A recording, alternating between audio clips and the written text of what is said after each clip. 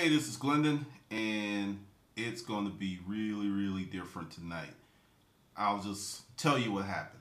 As you know, I don't watch the TV shows, and I put them on my DVR, and I just watch two, three, four, or five at a time.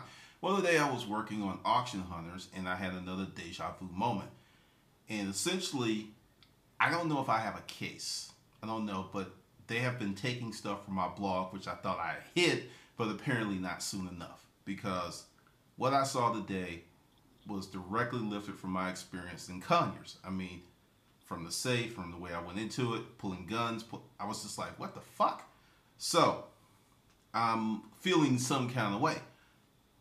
So the Q&A session, I'm just going to do that, say Saturday or maybe Sunday. Um, don't know, I'll put it out, but I'm going to you know, not leave you hanging. We're going to move forward with something else that you should know that you should know about. So this was going to come a little later, and like I said, this week's going to get kind of intense. So this might be a briefer for you. If you have any questions, send them to bootcamp at storageauctionguru.com. There's some in the queue that I need to answer, but I will answer them this week. So with that, let's talk about problem solving. I get a lot of questions about, you know, doing the workshop, doing the boot camp, and people want to see hands-on and I actually have tried to go to auctions, but the thing is, there's so many people at the auctions. You you can't like talk and dialogue without someone else getting the benefit of that conversation. So it's really a hard thing to do. Then I thought about buying a unit and then telling you why I bought it, but that's not like showing you the heat of the battle. Then I really thought, how can I convey this in a manner that will work for everybody? And I had to take a few steps back and really look at my methodology on how I bought units. And it was like as ah, it popped out. One of the biggest predicators of me buying a unit was how many problems would it solve? If you remember, you know, I had an extensive background in furniture, so I looked for furniture because I knew furniture. But one thing about furniture, people buy a table and chair set because they need one. They buy a washer and dryer because they need one. They buy a sofa set because they need one.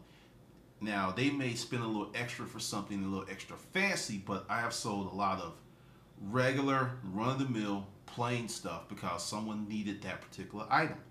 And that's how I bought my units. Because let's be real, if a unit is stacked from the ruler to the tutor like I like them, there's only going to be a few signs.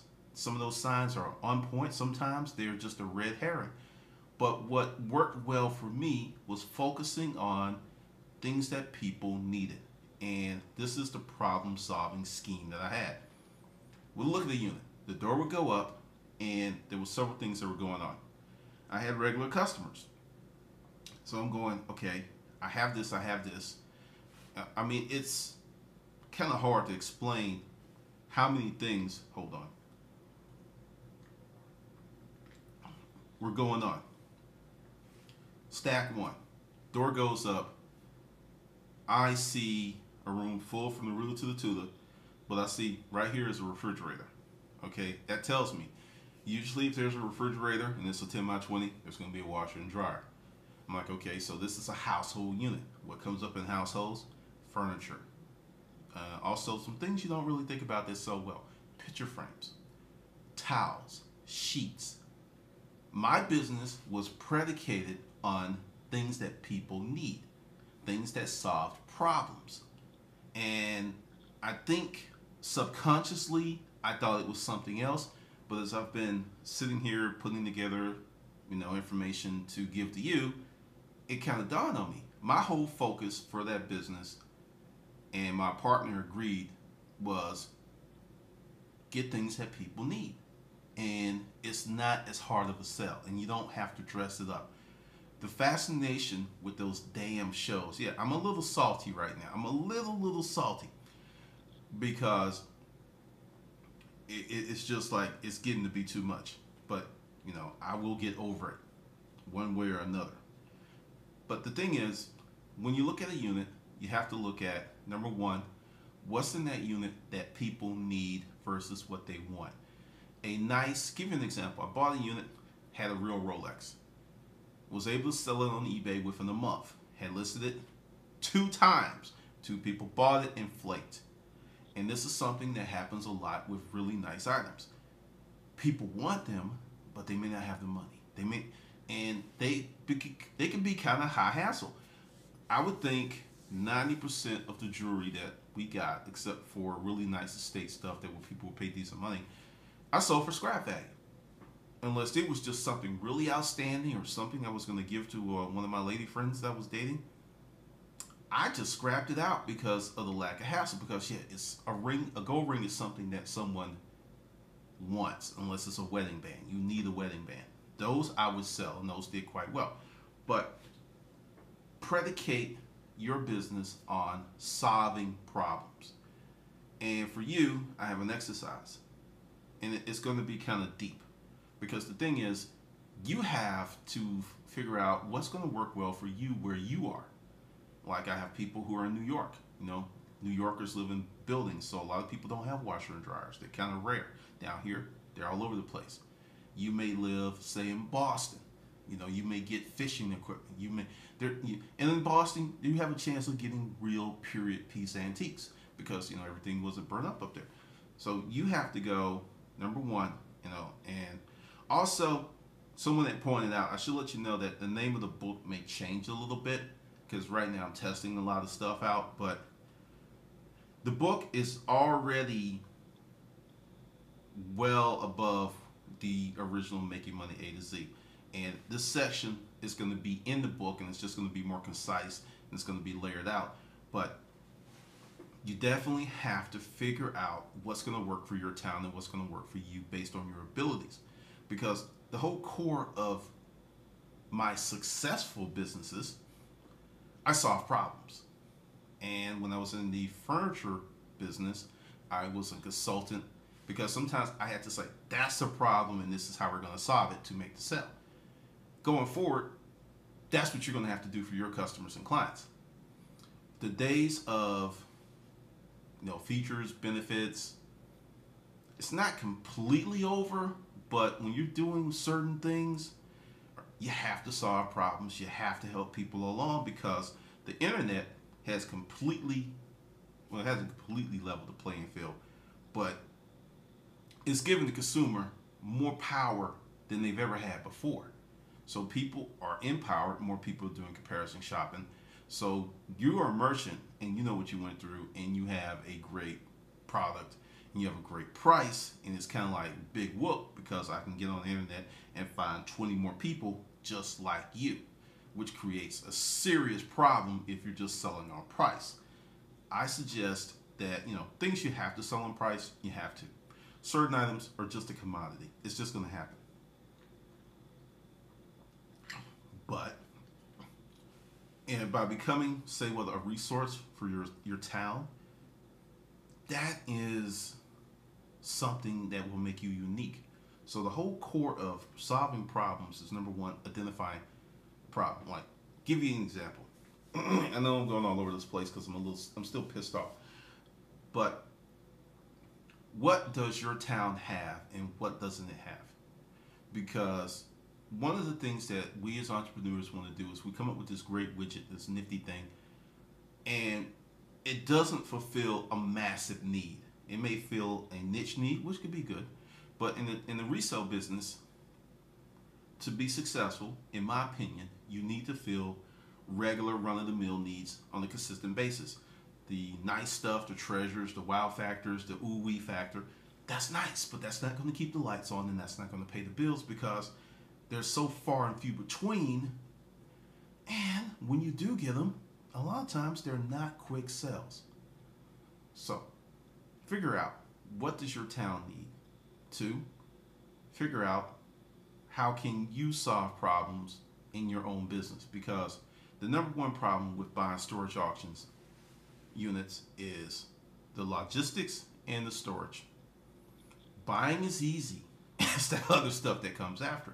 And I think in many ways you would be better suited to solve those problems quick first before you really get heavy into the game because you, you got to go out there. You, you, you have to do stuff, but you got to solve those problems.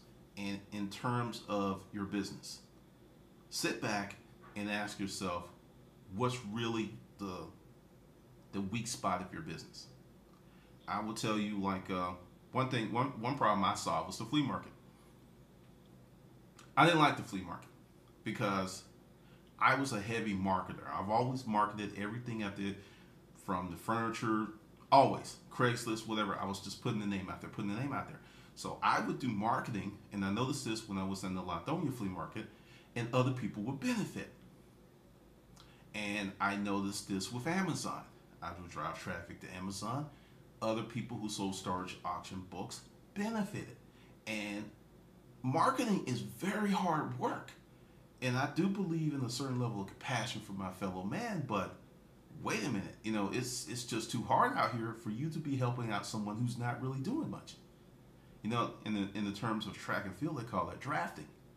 So I was like, the flea market is the best place to move a lot of small, low margin stuff, but there were so many problems there. You had to get there at this insanely early period of time in the morning because when the flea market became vibrant, you had to be there at 4:30, 5 o'clock to be able to get in to get a space close to the gate. If you were later, you could still you could show up at 12 and get a space, but you're gonna be like way on back there on the south 40. So you had to get up early. Then when you got there, you had to set up your booths, pull stuff out, unpack stuff. So you're you're up at this insane hour. You're, you're pulling stuff out of boxes. You're setting up. You're in the sun, and if you did any marketing, you're actually sharing that with others who did not. And that really, really bothered me. And one day I was like, okay, and my partner, and I, we went to lunch, and I was like, we gotta do something because we got all this stuff stacking up. But we go to the flea market, we're only gonna move 10 to 20% of it. Or if we like really lowball it, we'll move 50, 60% of it. But time, effort, and there was there was an auction that was going on this Saturday. So if I was gonna start going to the flea market, that had to go. And I was just like, how did we do this? How did we do this? And then, you know, bam, create your own flea market. Before we moved everything to the warehouse, we used to, you know, and once again, this is on, you know, if you do this, realize you're probably going against all cool enforcement. But on Saturdays, I would fill up the freaking parking lot. I'm not, I'm not talking about one or two parking spots. I'm talking bedroom sets. The store was full. Okay, get this, the store was full, but the whole parking lot was freaking covered up. I had furniture out there, I had stuff, I had prices, and was making deals. And the thing is, some days we would sell a bunch of stuff in the parking lot, and some days we hardly sell a few things, but we would draw people and they would come to the store and they would buy. But either way, we had space to put stuff either in the store and fill up the holes, or if the stuff in the, you know, it, it, it worked out. It, it really worked out. And that was how I solved the problem of the flea market in moving low margin items because I detest, I despise working my ass off to help other people who are really not working that hard. And that's what happens when you're a marketer. Like if you just go to the flea market and you do no marketing and you bring none of the customers that you work very hard to gain, that's not so bad. But I remember one day, it was it was a Saturday, and I was dropping off some stuff and, you know, just to break it down to you, the Lithonia flea market consisted mostly of black vendors and black customers. Few white people, but not that many. Also, there was a certain look to the people that lived in the neighborhood. Well, I'm walking in the flea market and I see this white girl and I see this white guy who kind of look like hipsters. That would be the look they had. And they're talking to someone else, and just something said, "Hey, talk to these people." And I said, "Are you looking for a search?" Yeah. And I just looked at the chick. Oh, I was gonna tell him where you, you know, you weren't here. I was like, okay, so I went in there. His name was actually Daniel. I actually remember his name, and I showed him because what it was was a Danish dresser, mid-century, but it needed a little work, and I was selling it for a hundred bucks. You know, if the thing was cleaned up, it'd been like five hundred dollars, but it, you know, it, it had character. It was still serviceable. It didn't look bad. I took some uh, Howards, put it on there, had it nice, looking nice. And he and this girl was like, yeah, and they took it. And dude gave me the money, and they both picked it up, and they started walking to the flea market. but you you have to solve these problems. And I'm, this is just me giving you some things that I do. If you ever go to Cracker Barrel, and I know a lot of black folks don't go to Cracker Barrel, but I love Cracker Barrel. Screw them. On the table is this little pyramid game, and every time I go in there, I play it. And my goal is not to just solve it because I can solve it, but to solve it faster because it trains your mind to look at things from a different aspect. That's how you have to look at units. Every unit's not going to be the same, but you have to look at how many problems will that unit solve for your customers.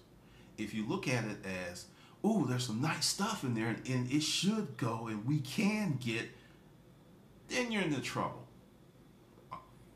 One of the one of the things is like, um, you know, with the shows, you see things that are not 100% accurate because once again I was watching this show and Allen and Ton go into this town and they just run over the regulars. That's not going to happen in real life. It's not. Not the way they do it. But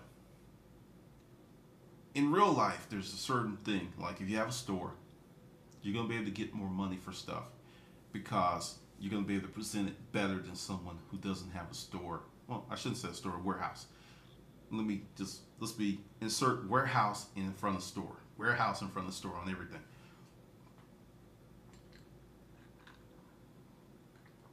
You have a warehouse, you have everything set up, you take great pictures, and you can present better than someone who doesn't have that capability. But trying to think of a unit and give you a clear example of how it solved problems. I'm gonna have to go back, go back. Ah, here's this one. I bought this unit Tucker. Open up the door. There's nothing but there's one, two, three mattresses. But there's two queen mattresses and one double-sided pillow top king mattress. Okay, that's three bedroom sets. They may be three. There's at least three beds in there because you know you may have the mattresses because everyone doesn't buy the full dresser or the nightstand. But I saw that. Then in the corner, I saw bed rails. That's all I saw. I was like, okay. In a unit like that, there was only a few of us. I kind of laid back in the cut to see who was interested in it because sometimes you can start bidding and raise interest on a unit that someone wasn't interested in because you didn't go, yeah, I'll give you 50. You yeah, $50. you know, you do stuff like that. you can also do that and fake people into spending more money, but that's a whole other deal. And I saw the unit and I just waited and waited and people kind of like walked away because you know there was a lot of neck craning and stuff like this. You couldn't really see over it. And then one person was like, "Hey, can we move the mattresses?" And I just love this mattress. She said, "No, you can't touch anything. Don't ask me that again. You know the rules." I was like, "Yes!" And I just sat back, and the person who asked to move the mattresses was looking at me, and I was like, I didn't say a word. I was just waiting because she was trying to bird dog off me. So I let her. She kept looking, and then the manager was like, "Anyone gonna bid? Anyone gonna bid?" And I was like, yeah, "You know, I give you 25." And the chick right there, just to be an ass, she's like, "100." You know, and cause she didn't know. She was like I said, she was keying. But the thing is, at that point in time, you could sell a pillow top double sided king size for 250 300 because they were going for a thousand 1200 1500 but I knew that, but she didn't. So I had a lot of room just on the mattresses if really there wasn't anything in there. But the whole unit was loaded from the roof to the tulip. But I didn't buy that unit based on treasure. I bought that unit on, I know I can sell these three mattress sets. You know, provided they were clean. From the side, they looked clean. The fact that they had plastic under the edges gave me hope. And when I did pull them out, they were great. Great condition, no stains, no rips, no smells, and nothing. Easy to sell and the three bedroom sets were in there. Another unit, sports equipment. I'm up in Alpharetta, door goes up, and there's boxes, totes, clearly a man's unit. I see a bicycle tire. Well, yeah, see a bicycle tire, but it's one of those one a knockoff, one that you just flip the the uh, the you flip the little switches and you take it on and put it off. I saw that, and I was like, okay, Atlanta, we have a lot of avid cyclists here. I'm looking at the unit, and any bike, and I already know any bike that has that cap, you know capability where you can flip the uh, front wheel on and off like that, it's usually not going to be a cheap bike. You know, it may not be thousands and thousands of dollars, but it might be a bike that I can get 150 to 500 for. So I saw that and I said, okay, I've got cyclists. Once again, now, ooh, that should, or ooh, that's nice. Get that thinking out of your mind. Think, how many problems can I solve? Oh, looking at the totes, I'm like, oh, okay, I can sell these totes for 10 bucks. And I don't think I've ever did that, but when you're at a unit, you got to start adding up your money really quickly. You know, everyone watches the show, so I'm to use them as a something not to do because you will see them and they're like, yeah, you know, about 800, that's our limit. This is how I would do certain things. And I might take one of the shows because, oh yeah, I can't put the shows on YouTube because I, you know, copied uh, Storage Wars season one and had on the channel. I had no ads on it. Well, A and E took offense and uh, they accused me of copyright infringement, and I had to take it down. So can't do that on YouTube, but I can do that on my blog, and I may do, or you know, behind my paywall. I think I can get away with that, and that's not going to be a problem. But the unit, boxes, totes, the bicycle wheel.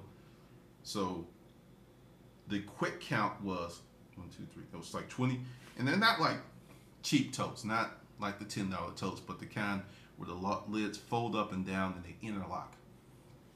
It's like okay, bam that's like twenty dollars. That's two hundred dollars.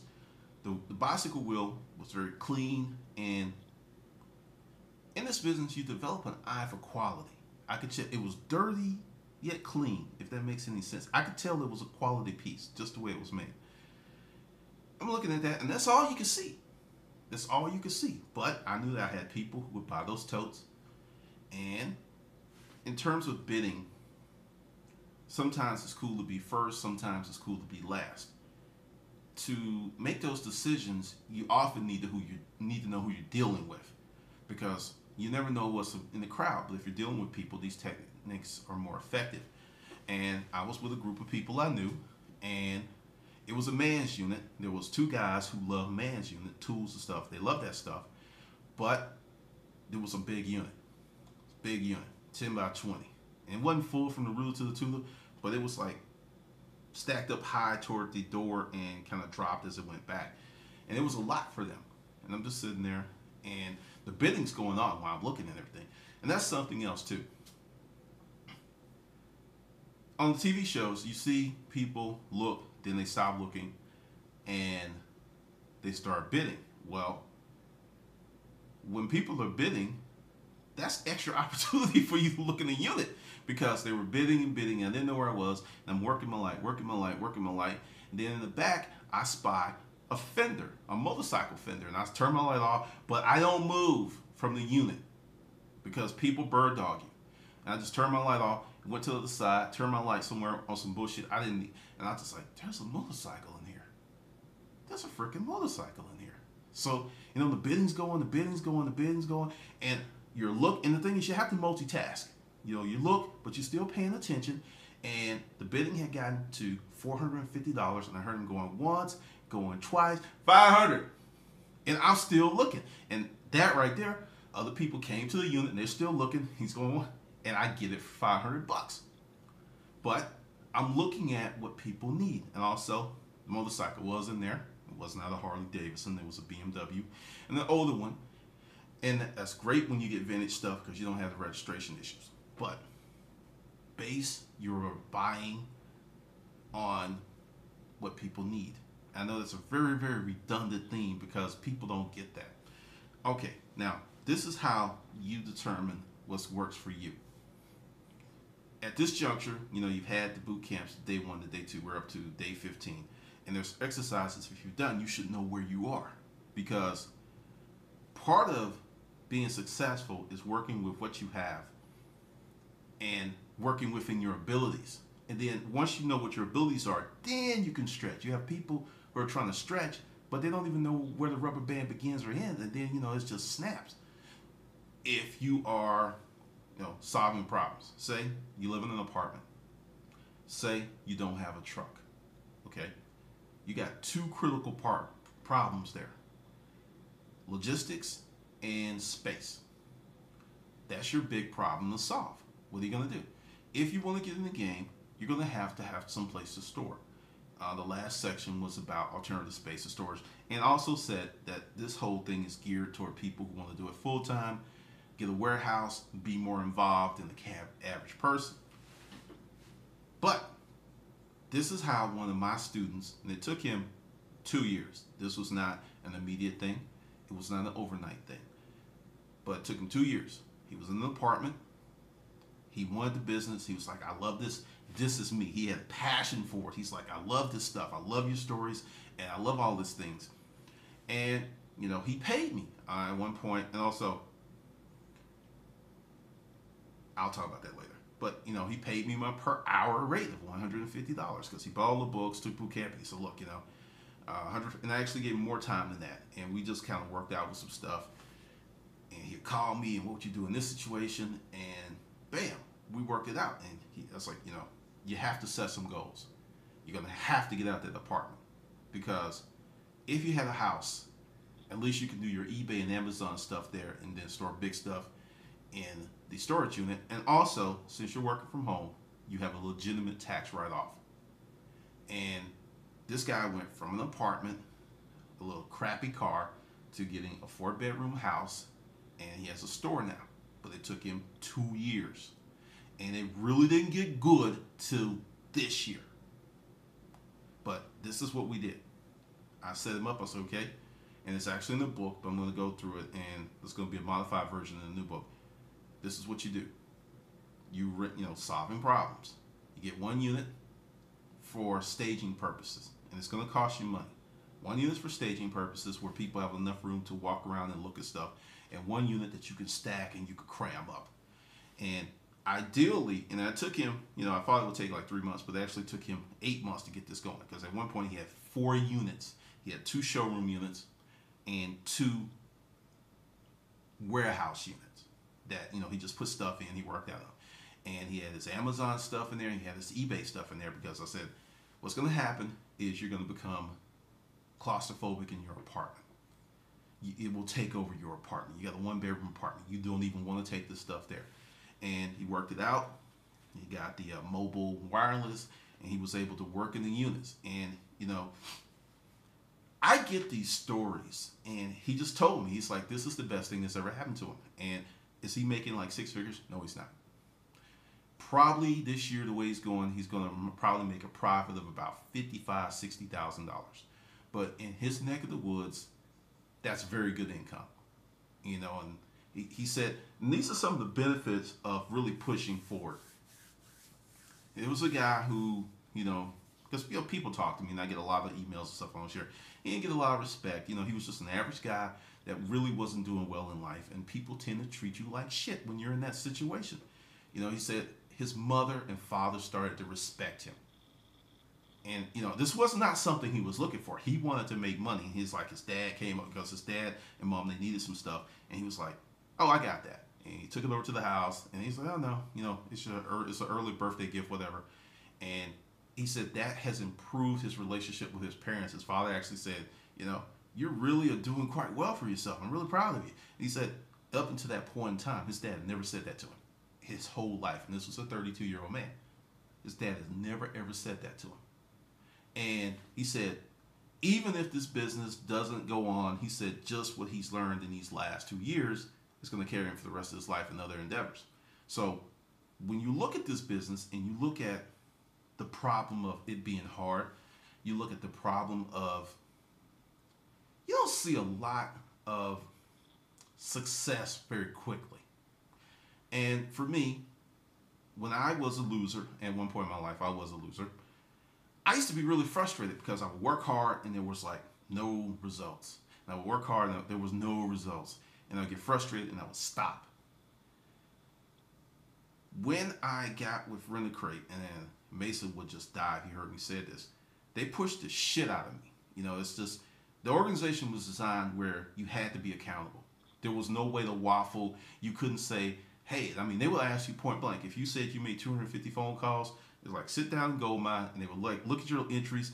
And I mean, you you were just they had you like that, And it's a very, very uncomfortable experience. It's a very uncomfortable experience. One of the hardest freaking jobs I had in my life because every day I walked through that door, I had to be accountable. And up until my, that point in my life, I wasn't. You know, I did well, you know, being smarter than average bear because sometimes intelligence can hide laziness.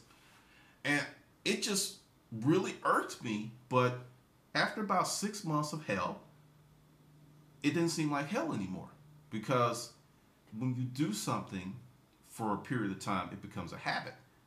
And I still do many of those things that I learned. I only worked for the company for nine months because I got a much better offer because I like doubled my salary. Like, bam, I was like, I'm out of here. Like you guys, but hey, this money's talking. And that's the thing I want you to understand. It's supposed to be hard. It's supposed to be challenging. It's supposed to be difficult because we live in a society and we live in a digital age where people want the four hour work week. I've had many people approach me and I even bought the book. This is my opinion of the four hour work week. It's a good book if you're going to start an internet based only business, something that you can run completely from the internet. The storage auction business, the resale business, those are businesses that the internet can help you make a lot of money, but you can't completely run it from the internet because, say, you sell everything online. No one ever comes to your house. You never have to have a storefront. You just have the place to, to store and ship from. You still got to go out there and get it. I mean, I, I know of a few people that buy on Craigslist and buy on eBay and flip around and resell, but the margins aren't as nice when you really do the grunt work. It's just not as nice.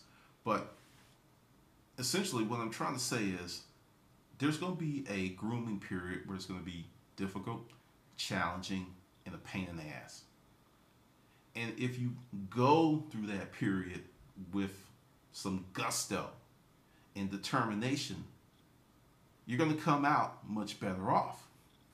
Now, with solving problems, this is a, I think it's called the Ben Franklin close, but I call it my problem solving thing. And you know, I kill trees. Take a sheet of paper, and also, I know we're used to doing everything on computers, but when you have to write something, your brain activates in a different manner than when you're typing and doing stuff online. It's totally different. It's weird because when I write a book and I'm looking at it in pages, I see it one way, but when I turn it into like a Mobi file or EPUB file and then move it to my iPad and look at it, it's totally different. It's like, oh shit, I see all these errors now that I couldn't see in front of me. So humor me. Take a sheet of paper, legal paper, you know, go out and get some, they're cheap. Draw a graph, you know, draw a line across the top, then a line down the middle. Put over here what your problem is and come up with as many solutions. I don't care how crazy they may be I don't care if whatever. Just come up as many as you can within 5 to 10, 15 minutes. Just solutions, solutions, and do not censor yourself because you're like, oh, no, that won't work. No, your goal is this is the problem.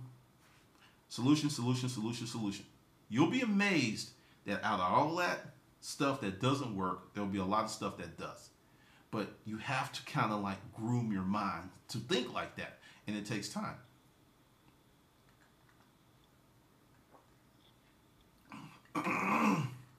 that's going to be your exercise. What I want you to do tonight is whatever big problem you have in this resale business, create that graph, and for every problem, this one sheet of paper. This is the problem. Solution, solution, solution. Problem, then flip the page over, problem, solution. Just do that and just work out some scenarios. Excuse me give you an example of how I use that method to help me with my online business. The blog came back, but for many months I ignored it. I didn't keep it up because I essentially used my blog as a landing page to sell books. And the reason was I had to make a decision on my personal resources of time. SEO is like that target that does this bam, you know, the day it, it just keeps moving. They keep changing it. What works this month doesn't work a few months later. It used to be what worked last year doesn't work this year, and it keeps changing and it keeps changing, and it's maddening Because if you got stuff like, okay, I and did this, then I realized something. And, you know, with my competition, there wasn't that many people selling storage auction products. It really wasn't. You know, at one point it was just like, bam! Then it kind of narrowed down to just a few. And I looked at where they were, and, you know, many of them were well ahead of me in SEO and black hat search engine techniques, which I'm glad I didn't employ. I never bought any link. I never did any link building. I never bought any followers or any of that stuff because at some point it bites you in the ass. So all my stuff's been built organically, but I could not fight these guys because they knew more than I did. So it's like, okay, so I can sit here and try to get my black belt in SEO real quick while ignoring other stuff because it's time consuming, or I can use what I have. So I did that. It's like problem. How do I grow my business in this internet madness? And went back and it's like, you know, and I was like, okay, YouTube, SEO, pay a company. Then I went back later on, it's like YouTube, and I went in the dashboard and they, like I said, they give you all this information. And I found out that my YouTube channel had eight times as much traffic as my blog, even on its best, during its best days. During its best days. And I said, huh. So, bam, straight to YouTube, putting links, leading the blogs, and for a period of time, I actually sold more books and stuff than I ever did before. Then that kind of like slowed down because this market's maturing. But that's how I solved that problem because you have to find out what works for you because people are looking for cookie cutter, bam, instant solutions, which may work for a short period of time, but mark my words, at some point you're going to have to find another solution and another solution. So if you orient your business in a sales and solution finding philosophy, you're going to be much better off because you'll be used to coming up with solutions and doing things versus always being a step or two behind. Now, now the focus of the blog has changed and I'm going more with business, personal development stuff. I don't have that issue anymore because I'm not competing with them because none of those guys even write about that stuff and share more experiences with you, like you know the story up there about how I was part of the team that took care of Curtis Mayfield and all the stuff he taught me. He taught me a lot. Things like that. That's where the blog's gonna go. Crazy stuff in storage auctions. Um, leaving the TV shows alone. They're fake. They are. You know, when I say leave them alone, you know, once I talk to the right people, if I have a case, I will sue. If I can't sue and it doesn't make any sense, I'm not. I just have to be honest. But leaving the shows alone and focusing on building on the platform that I've already established, which is, you know, taking the experiences that I had because, you know, give you another example. You know, I've talked about this before. Um, there was a period of time that I was homeless, sleeping in my car, taking showers in the gym. Then I moved to up the hill to a boarding house with crackheads. I had put myself in a very, very bad situation. Very, very bad situation. And the only way for me to get out was to work two full time jobs. That was the only way because all the money I had from my little penny ante job went to paying rent, buying groceries, you know, taking care of bills. And I had really nothing left over. I mean, at that point in time, I had to have, I didn't have a car. That was another problem. I had to buy a MARTA pass because I could not afford to get around. Because, you know, you buy the weekly pass and you can use it unlimited.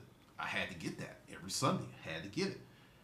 And the extra job was, and it took a long time for me to save up money to secure a rent and a deposit to get a place and buy furniture and everything.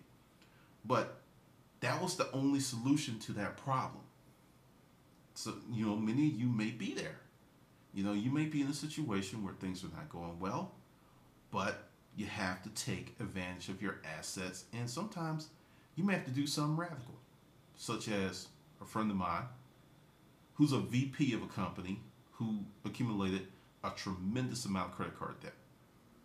The way that my friend got from under this hole was to move in with another one of our friends for a year and dedicate $2,000 a month that what she was paying for rent, utilities at her other place. She took all that money because, you know, what the person was charging her in rent was minuscule to compare to what she was paying. And within a year, she eradicated about 68% of that. Like 24 grand. Paid a lot of stuff down. You know, the monthly payment, you know, the minimum payments aren't obscene anymore. And that's what it took. But it was a year to get out of it. And when you go through that, you tend not to make the mistake again. When you get the quick fix, well, you know, this happened. There's a quick fix. You know, it's a quick remedy. You know, there's no problem with that. When reality in life, this usually is. So, you got your assignment. You know what you need to do. Like I said, um, based on how I set this up, I'm not keeping people. I'm trying to keep it for 45 minutes to an hour. And then that's going to be, you know, so I want you all tied up. Now, let's talk about Nick the rest of the week. You will not be getting an assignment tonight, but you will be getting a bad boy assignment tomorrow. And you're going to be getting more information. And then we're going to go down into the breakdown and some other stuff. And like I said, there are some people who have sent me an email and I haven't gotten to you. But trust me, it's on the list because, like I said, I'm, I'm, I'm going through it. I'm going through it. Because I don't allow my sister to go through my emails because there's all kind of crazy stuff in there. And when I tried that, they couldn't answer any of the emails. So what's the point? I got to do it anyway. So I will be going through that, getting back with folks, and also let you know the boot camp is going to change radically for the next one because I've got a few things kind of halfway figured out. I will share them with you. I found a site that I can have videos up and I don't have to put them on my website and you can get a subscription. All of you that are here, you know, you'll get a discounted subscription because the next boot camp, which I'm going to call it the workshop, will be August 14th and it's going to be even a little bit better. But you know, I can hook that up. You know, for other folks, they're going to have to pay a grip if they want to get in. And also, I am going to probably do the iBuyIProfit.com video because there's a lot of things that I want to share with you that I don't really talk about because once again solving problems.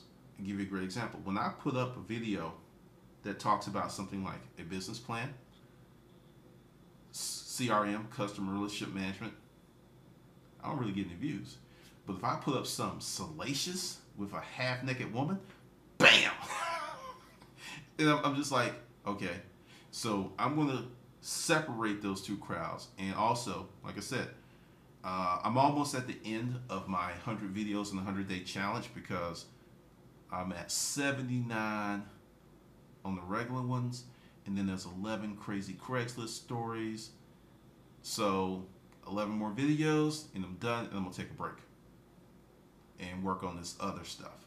So, because I'm not gonna lie, crap was hard. it was hard, and I just have a few. I have just enough juice to finish this up, but a lot of good stuff is gonna come. And going forward, you know, also, you know, if you're you're part of this group, you're already on one mailing list. Everything goes through the mailing list. I put up a video, I put up a blog post, I send you an email, so you don't have to worry about subscribing to YouTube. You don't have to worry about subscribe. I haven't been doing it with every post on the 100 day challenge because some days there were five or six posts, and I was like, okay, let's just let that start a little later. But now I'm just going to do one video a day. That's not too onerous, and they're going to be a mixture of short and long. So everything goes through the mailing list. So you won't miss out on anything.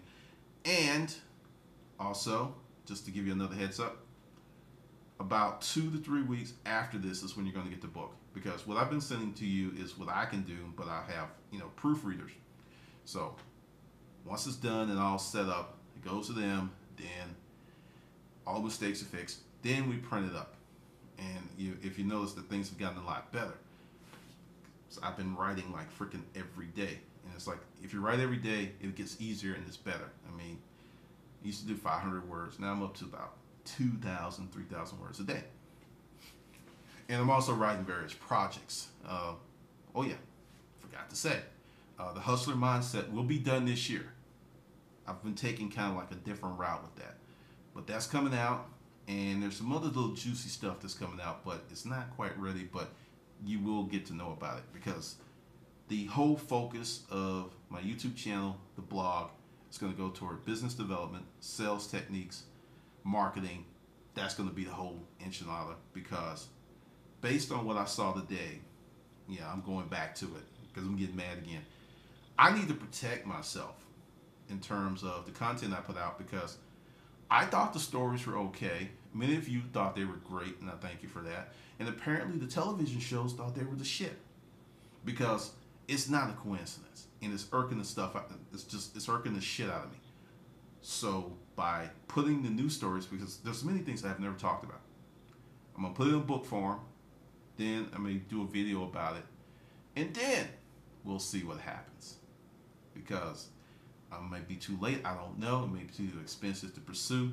But mark my words, I'm about to stem. I'm about to stop that crap. You know, it's not reality. Fine, use someone else's stuff. Leave my shit alone. Okay, enough of that. Enough of that. Enough of that. I'm gonna come back off of that. All right. So once again, if you have any questions, send them to bootcamp at storageauctionguru.com. And I, like I said earlier, the video. Let me write it down. Didn't mean to do that. I will have another Q and A. Let's see, what is the day? Because one of the, another reason I'm doing this with videos is football season's coming up. Okay, I am not going to be doing any webinars on a Monday night. It's not going to happen. And Saturday, you can forget it. Like 32 more days, baby. Okay, all right. Let's open up the calendar here. Let's see. Today is wow the 30th.